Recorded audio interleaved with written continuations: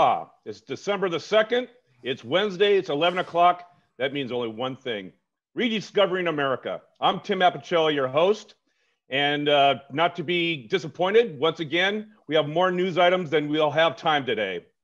But the title of this show is Trump, the Mad King's Rant, FBI, DOJ, or MIA. So Donald Trump has accused the FBI and the Department of Justice that they're just not there for him to uphold his his uh, conclusions and his his allegations that the election was rigged and the election was stolen from him. And the FBI and the D- Department of Justice, they're not playing along, and he's not happy about it. In fact, he's even implied that they're part of the conspiracy. So, where do you go from there? Well, let me tell you where you go from there. I'm going to read a couple quotes that should say it all. And one is from, believe it or not, Donald Trump's buddy, William Barr. William Barr, of the one who he just accused of being part of the, the, the cabal to not uphold the, um, the investigation to prove that there was a fixed rigged election, that the, uh, the ballots were flipped and they were, they were rigged. So here's what William Barr says To date, we have not seen fraud on a scale that could have affected a different outcome in the election. William Barr just nailed one of the nails in the coffin to close this election allegation shut. The other quote is from the Third Circuit Court of Appeals by a, a Judge Stephanos Bibas. Uh, it's a three panel judge, and he said, Free, fair elections are the lifeblood of democracy. Charges of unfair unfairness are serious, but calling election unfair does not make it so. Charges require specific allegations and then proof. We have neither here. So with that, let me go to my guests. Good morning, everybody. We today we have Jay Fidell, Cynthia Lee Sinclair, Stephanie Dalton, and Winston Welch. Here we go again. Another wild week, another wild week of allegations and unproven, unfounded allegations. Jay, um, these two quotes one from the uh, Federal uh, Court of Appeals and his buddy William Barr, does that put the nail in the coffin for Donald Trump on his uh, pursuing these um, allegations either out of court or in court? With whom? You know, with with us guys, it puts the nail in the coffin, and and we look at the the margin of the of the base, and we say, well, it must be putting the nail in the coffin for them too. But yesterday, I got an email from somebody here in Honolulu uh, who, who firmly believes that Trump is still right, uh, who believes that Democrats are Marxists, socialists, and communists, and they're wrecking the Constitution. So what you have is a, a problem about truth. And Tim, I sent you an article, maybe I copied all you guys about truth, the Constitution of truth. And we've, we've lost it to some extent. And the big challenge now to get it back. So I, I consider all the stuff you see on MSNBC and CNN, it's a, it's kind of a, it's a, it's a reality show. It's a distraction. It's very dramatic. It's very interesting and very repetitive, I might add, um, and predictable. Um, but the bottom line is that Trump isn't doing anything to help the country. Zero, zero. Did I say that? Zero. And meanwhile, there's well, no I, president. There's I, no president, and the country is falling into an abyss uh, while we're all distracted with the, you know, the end game here uh, for Trump's presidency. I'd like to interject an alternative uh, thought on this, and I think he is doing something. He's doing something for himself. He has raised since election day $170 million. And that was supposed to be the election defense fund called um, uh, Steal the Vote. You know, that was supposed to be money used to overturn all these, uh, you know, the, these, these court decisions and pay for attorneys to prove that fraud was laden in the five states. Well, in fact, if it's a, a donation under $5,000, gets you gets it. Uh, Donald Trump has opened up an organization called Save America. And every dollar received, if it's under 5,000, he gets 75% of it. The rest goes to pay down campaign debt. And then the uh, Republican National Committee gets the rest of it. So last week I suggested that, you know, this is all about campaign donations and getting money. He'll need money in the future to pay for an attorneys after the Southern Manhattan District comes after him. He'll need to pay for uh, an attorney that charges $2,000 an hour. And he'll need money for, um, for, for his kids just because. So I think he is doing something. He's doing something for himself. Well, I think, you know, to, to go to your question for a moment more, and that is what, what's happening here is that the fringes of the Republican Party are, are turning against him. Uh, they, you know, they have to admit that what he's doing is really crazy. Um, and they see all the court decisions. They see, you know, remarks by people in government, even people who he appointed, who have been his friend up to this point, who are not so loyal anymore. Um, and you can assume that there's people out there in the community, you know, the fringes of the base that are being likewise affected. And as we go forward, this is my theory I expressed before.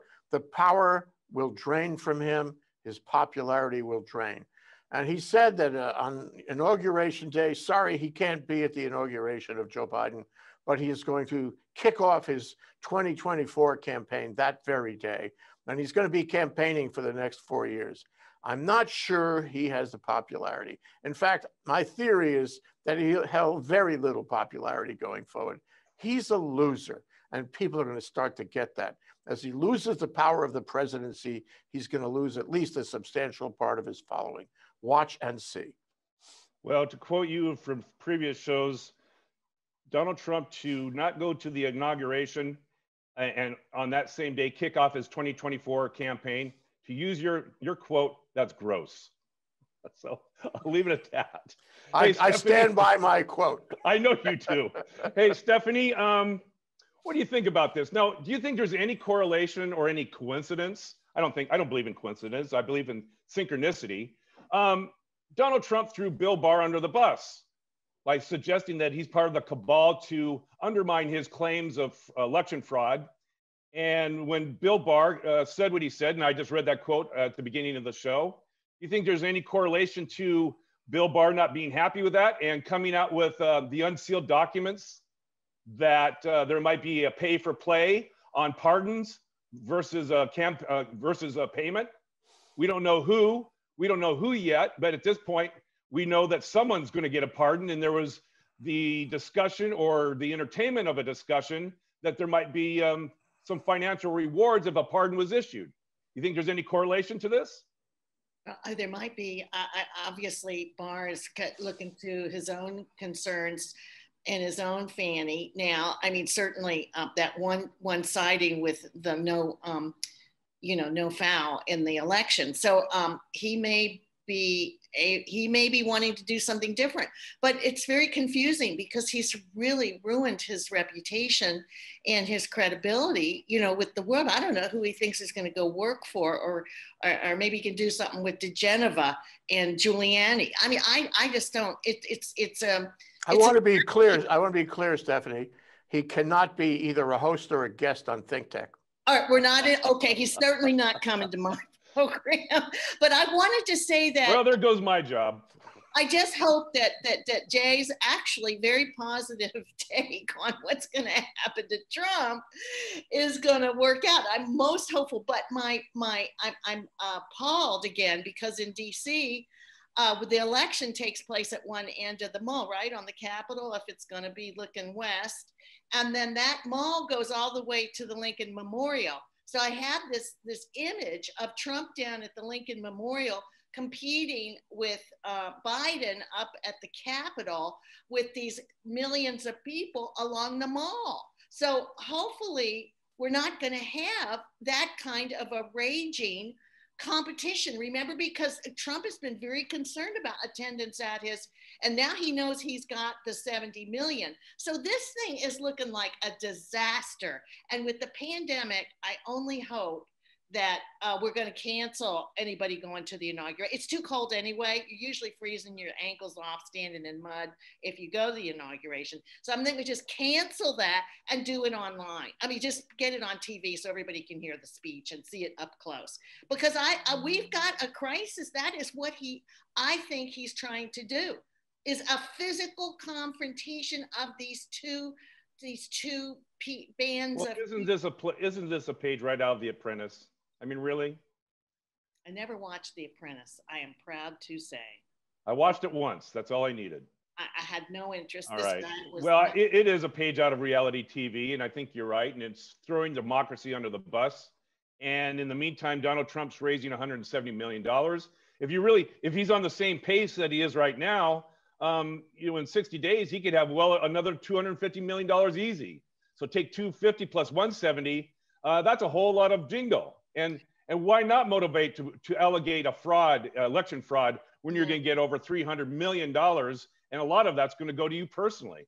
Well, are those hardworking people donating? Has there been any report on who's giving him that money? Is that hardworking people out of his base, or are those mega donors? I mean, not. Well, if it's a mega donor, then it does go to the defense fund. It does go to uh, stop the uh, steal the vote campaign fund. That's a Roger Stone um, organized, um, you know, campaign fund to pay for attorneys to to challenge these things. But if it's under five thousand, it goes either to the RNC pay down campaign debt or to Donald Trump's new Help Save America fund. So I feel bad for these people. I do you too. know, it's, you know, we, we're having hard times enough as it is. They and I'm pretty certain that most of his followers aren't, you know, all that well uh, enriched with, no. you know, excess funds. And here they are giving what little they have to Donald Trump. Exactly. They it's it's, it's a Trump University scheme all over again. Yeah, they're better off going to McDonald's. Let's prop the economy up with that money. Don't give it to Donald. Get your burger. Get your your Big Get Mac. your burger. Okay, thank you, Stephanie. Yeah. Hey, Cynthia. Um, Donald Trump's attorney, Joe DeVenova, I want to say Joe DeVenova. Um, yeah, you know what he said on the Howard Carr show. Uh, remember that um, Chris Krebs, the cybersecurity director for Homeland Defense, was terminated because he spoke truth to power. He spoke that there was no rigging of uh, voting machines and there was no cyber attacks that would anyway uh, throw the election. And he did, uh, he said it. And because he said it, uh, that opposed Donald Trump's position and he was terminated shortly thereafter. Well, Donald Trump's attorney has said on the Howie Carr show, and I quote, uh, this guy is a class A moron. He ought to be drawn and quartered and taken out at dawn and shot. This is Donald Trump's attorney. And Cynthia, what he has come out to say is, I'm going to say it again. There was no, there was no fixing, uh, there was no cyber attacks. There was no uh, flipping of voting machines that went from Trump to Biden. Um, Dominion was not a factor here. And uh, the results the recount showed that there was a matchup between the Dominion's voting machines and a matchup to the paper ballots. So, um, so what's Donald Trump do? He sticks his attorney on him. And um, Chris Krebs is in so much implied that he probably will seek a, a legal opinion or two and, and maybe go after this attorney. Uh, your thoughts about this kind of shenanigans, this as as uh, Joe Biden likes to say, this malarkey. I think this goes way beyond malarkey or shenanigans. This is dangerous, illegal, threatening behavior, which is serious. And I have some quotes from Chris Krebs that I just want to read really quick, which I thought was really great. On November 17th, I was dismissed as director of the Cybersecurity and Infrastructure Security Agency, a Senate confirmed post. In a tweet from the president, after my team and other election security experts rebutted claims of hacking of the 2020 election. On Monday, a lawyer for the president's campaign plainly stated that I should be executed. I am not going to be intimidated by these threats from telling the truth to the American people thought those were some pretty powerful words. And then we've got this other guy from Georgia today, Sterling, another election official, who has come out. And it was one, I, I get chicken skin just thinking about it, even, where he came out and said, This has to stop. People are being threatened. Somebody's going to die.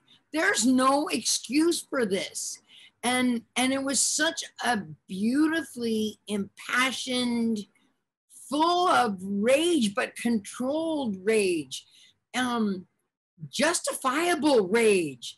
And and he said that each and every american that is paying attention should feel the same kind of outrage. And i for one feel it. Um, yeah.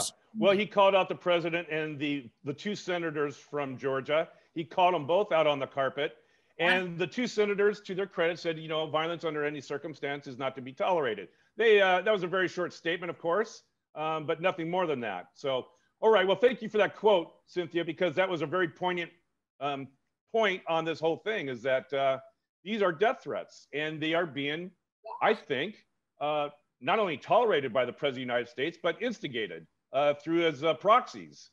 So right. it's it's you know this is well once again this is deplorable. So thank you, Cynthia. Hey, uh, Winston, going to you on the same topic. Do you have any thoughts on how low we go in the this this 30 days uh, that we've been in this election dispute, and where Donald Trump is in Georgia, and um, the allegations? Again, Georgia's election process is is flawed and it's going to be rigged. What would motivate a Republican to want to turn out and vote? What would motivate a Republican to want to turn out and vote? I'm not sure because the candidates that they would be voting for have been lockstep supporting Donald Trump. And throughout all of this, this horror of trying to dismantle our nation and its fundamental democracy. This is not a difference of opinions. This is whether the, the, the nation survives um, to to have a nation, to have elections in the future, and for them to think they wouldn't be on the chopping block next is, is folly. But uh, well, I guess my so point is I don't this, I don't know. Yeah, no, I, I didn't I didn't ask the question as clearly as I should have. Here's the point: if Donald Trump is undermining the credibility of the Georgia election and saying no matter what it's fraud and it's rigged, um, wouldn't I just want to stay home and not waste my time and energy? and well, uh, it, not not turn out the vote? It's interesting because if you're a QAnon person, then is this part of the whole plot or not? I think actually Donald Trump continuing on with this tirade and all the stupid lawsuits and trying to undermine everything and telling people, oh, it's fake, don't, don't, you know, even these Dominion machines have a paper trail from what I understand. Like everybody that votes, there's a piece of paper that comes out. They audit these things. You had the, the uh, the attorney general coming out. I mean, his own henchmen saying these were free and fair elections. Every single uh, state has come out with the same thing. Judges, conservative judges have thrown out everything. So I think you can go back and say, maybe this is Donald Trump's way of, of trying to give a little bit back to America for all the destruction he's caused. Because uh, if he continues along with this vein and tells people to stay home, we might end up with a Democrat 50 50 uh, Senate with the Republicans with Kamala Harris uh, making the deciding vote. So I don't know. Maybe it's his own way of getting back yeah. at his party. I, I think this is a, a, window to Donald Trump's psychopathy, and that is, you, if you're loyal to him, know it's a one-way street, because he's not going to be loyal in return. He's thrown very loyal Republican Trump Republicans under the bus. He's taken tasks to the uh, Georgia governor, the Secretary of State, uh, Arizona governor recently. He's thrown that person under the bus. And, you know, loyalty is only a one way street with Donald Trump. And this is how he pays you back. He, uh, he basically implies that you're part of the conspiracy as well, along with the uh, liberal Democrats. What a nice right. way to what a nice way to treat your fellow brethren. It's really Stalinist, isn't it, or, or Lenin? I, it goes back to the get rid of all the people who know where the bodies are and replace it with Bill Barr is now suddenly part of the conspiracy along with the Department of Justice and the FBI. It's so insane. One wonders how many days he actually has left in his in this administration as well. But um, you know, if there's a silver lining in all this, it will be that we get 50 Democrats in the in the Senate. But you know, I, as I stop and I think about it, and you see how he's attacking these Republicans these people that say I voted for him. Georgia Secretary of State says I voted for him, and now he's throwing me under the bus. An article in USA Today. Um, you have people that that are absolutely su- have supported him for whatever reason. And there was a great article in uh, I think it was the, the Times where the, the, normal columnist gave it to her brother who is a Trumplican and said, "This is why I support Donald Trump." Did you all happen to see that? It was in uh, Sunday's Advertiser a Star-Advertiser here in Honolulu, and she's uh, Maureen Dowd, uh, and she gave it to her brother to write. And it's quite interesting because they gloss over everything that that we might see and say, "Hello, did you not see this?" What they are seeing is quite different than what we imagine. So it's I think it's good to give it a gander. And I don't know if he would have given her a column, but uh, you know, Tim, I think I, I'm, I'm I don't share Jay's um, positivity that the noise will go down once he's out of office. It may a little bit, but as he starts his own network or whatever it is, and he's exactly raising money for his legal defense fund, it might. But what concerns me is what's going to pop up in its place and all the, you know, the, you cut up the, the, the one head and there's eight eight more pop out the hydra or whatever. It, it's, it's that's what we're going to have is a Yeah. lot of really bad uh, players Yeah. coming on and learning from this. So we got a lot of fixing to do. Once. Uh, You know, the only thing missing, I think, is after Donald Trump gives a speech, uh, the only thing missing is the person who stops clapping first is sent off and never to be seen again. That's the only thing missing that uh, it runs from the Stalinist, Leninist uh, days of, uh, of old Russia. So, Yeah. all right. Well, thank you, Winston. Appreciate it. Hey, Jay, got a question for you. The, um, the pardons, the pardons that have been mentioned that um, are proactive pardons to the kids, you know, and Jared and uh, Rudolph Giuliani. Um, that's highly unusual. And you don't normally see something like that. Before a pardon is granted, don't you have to specifically know what crimes have been committed before the pardon can be issued? You would think, you would think, but there is some precedent for the preemptive pardon uh, abroad. You know, a very interesting uh, discussion on MSNBC on that issue last night, because uh, arguably um, you, you, you have to identify in the pardon document what you're pardoning the person for. Uh, and if you do that, you're excluding other things. So once you're forced to identify crime A and you don't mention crime B, then the logic, it seems to me, this is right, is that you're exposed, the, the, person being pardoned is then exposed to a prosecution on crime B. So the devil is in the detail. When they start, when Trump starts issuing all these pardons, um, you know, we're going to see that kind of drafting problem. The other thing is uh, in the Constitution, it says grant. And uh, there's a whole discussion going on about whether you can grant yourself something. And in the law and the practice, you know, for 500 years of, of stare decisis, the word grant means from me to you, from one person A to person B, not from person A back to person A. Grant thyself went out a long time ago. Uh, so, you know, there's a fair chance that uh, some, some court is going to say, no, no, you can't do that. What's most remarkable, uh, there's a lot to discuss on the issue of pardons, I grant you that. Sorry to use that term.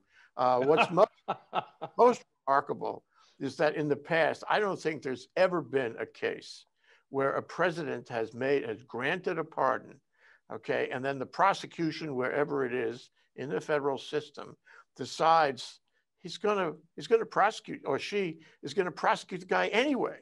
Then the, the, the defendant will say, wait a minute, wait a minute, I was pardoned, don't you understand? And the prosecution is to say that pardon wasn't valid. I think we're going to see that. I think we're going to see these pardons litigated going forward, either on the basis of what the pardon covered or didn't cover, or on the grant, you know, the grant Yeah. language. the Well, I, I see it a, an easier path for him to pardon um, proactively, pardon people. But how does Donald Trump get a pardon? Wouldn't he have to resign from office and have Mike Pence as then acting president to pardon him?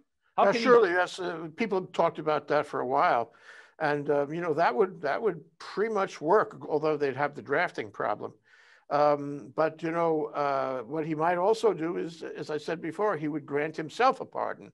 So it's one of those two logical possibilities where Trump could get pardoned. And I suggest to you that he will do one of those two things. He will not leave office without a pardon. It's too easy for him to give. The one fly in the ointment here, and we talked about it a minute ago, is this uh, impending uh, scandal, this impending explosion of, of pay for play, of pay for pardons. You know, we all know, and if anybody doesn't know it, raise your hand, that Trump has been taking money for pardons. There's some of them are so fishy. I mean, you know, it's the fishy test. Some of them are so fishy, you have to conclude that there was money passing hands in the way of campaign contributions, who knows how. And unfortunately, in, well, the way it works is that ordinarily there's a pardons council in the White House Mhm. who evaluates pardons and makes sure they're clean and they're defensible and so forth. And that's been the case for a long time, except in this presidency. He just does it off the cuff. There is no pardons council. There's no evaluation, no examination. And, you know, they're not clean. And I suggest that between now and inauguration day, that is going to surface. Uh, or if not by inauguration day, then after inauguration. That You- react, you know- redacted uh, order by the judge that was made public yesterday, it's going to get made public in general. And we're going to find a lot more about pay for play.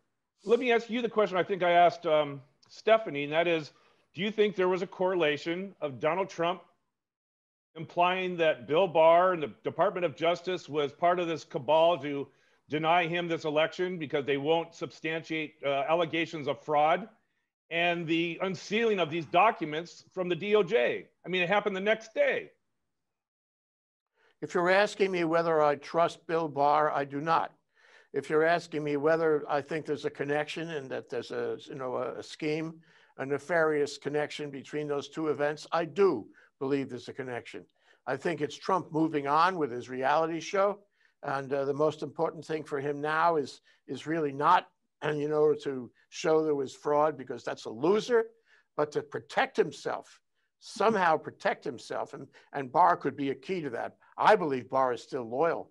Barr could be a key to protecting him on the pay to play scandal. Yeah.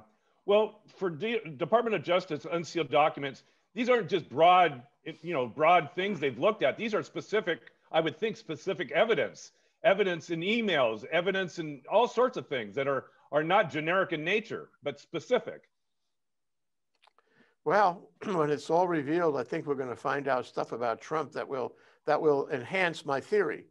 That is, when he's involved in more scandal, more of the fringe of his base will will slough off, and I think there's a lot more scandal to come.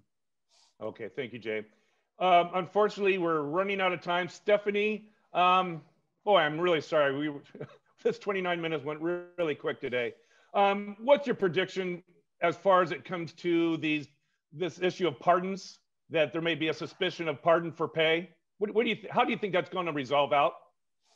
Well, I think people getting tired of this, and it's kind of like just get him out. There's Fort Knox, go take it. You know, get out, get out, so we can get on with this. I think under the egregious category, to make it even sadder, it's already so egregious inexplicably, but it's the saddest. Now he's going after all the people on death row.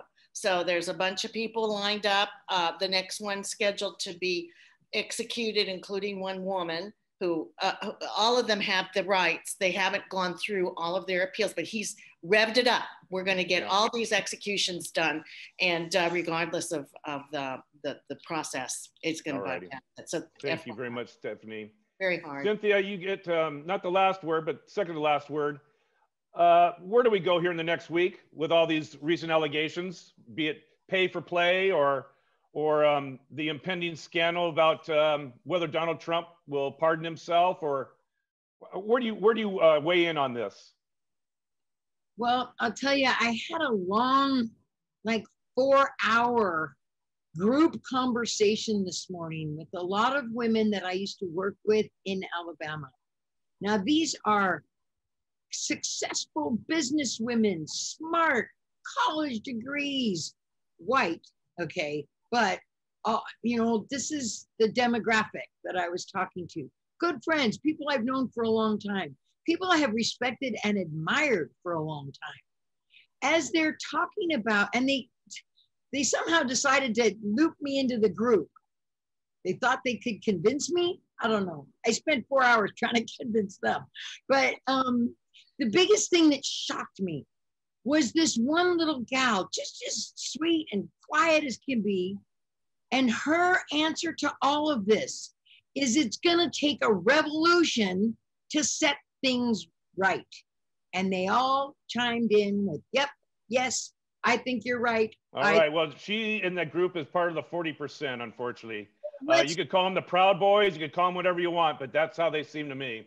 Well, and these weren't, they're just regular ladies. That's what I mean. But they're like people that Yeah, well, they don't sound regular to me, and they don't sound very patriotic. So I'll leave it at that. I'm going to go to Winston for the last word. last thing and say, I pray that these people will have their eyes opened because that's the very thing that will destroy our country is that revolution that's still out there being propagated and encouraged. Okay. Yeah, and watch out for inauguration day. Like Stephanie said, there could be violence out there. Yeah, no, that's That would be very the worst possible. you ever Very saw. possible. And keep Just to, me- just to mess things up. All right. Hey, Winston, uh, we're out of time, but I wanted to just get your opinion about the potential pay for play for pardons and get your thoughts. Uh, we're, we're out of time, but I, I, I'd like to hear from you. Uh, you know what? There's a great article, short one in USA Today, what to do about the pardon Trump will grant himself. And it's uh, written from a perspective of the Guardrails of Democracy Project, an informal think tank devoted to developing proposals to shore up democratic institutions damaged during the Trump presidency. They're proposing a new amendment that just says never in the future. So at this point, the damage is done. It's it's still going on. It will continue going on. We'll still have an epidemic after, a pandemic after he leaves. But right now, um, you do the best you can. I love the idea of bringing up these lawyers uh, who have these spurious lawsuits and disbarring them for their behavior, for death threats, for, for just filing these lawsuits. And Washington Post had an article about that, about 25 former DC bar presidents calling for that. But I feel like right now we but got you know, 50 Jay, Jay mentioned last week, Jay had mentioned last week that those judges would have to call all those lawsuits frivolous, and they didn't do that. Well, the lawyers themselves take an oath that say you're not going to undermine democracy, uh, or, or it's something to that effect, and they, and they know that this is wrong. But you know what? I feel like we're at 50 days now out, and this is not 50 days until Christmas. What am I going to buy? This is 50 days of being dropped off in the middle of the Sahara Desert and telling you to walk due north. Maybe you'll get to Tunis, and maybe there'll be food and water once you get there. That's kind of how I'm feeling right now, but I'm, I'm hopeful still. We're in the winter, so the rains may come and it might be a little bit. well, you know, Winston, you've taken a real sharp detour from uh, weeks previous, and I knew you'd catch up with us sooner or later. So uh, we're out of time. Winston, I want to thank you very much for your participation. Thank Uh, I'd like to thank Jay Fidell, Stephanie Dalton, Cynthia Lee Sinclair. Thank you for joining us for Rediscovering America. I'm Tim Apicella, your host, and we'll see you next week, Wednesday at 11 o'clock. Aloha, everyone.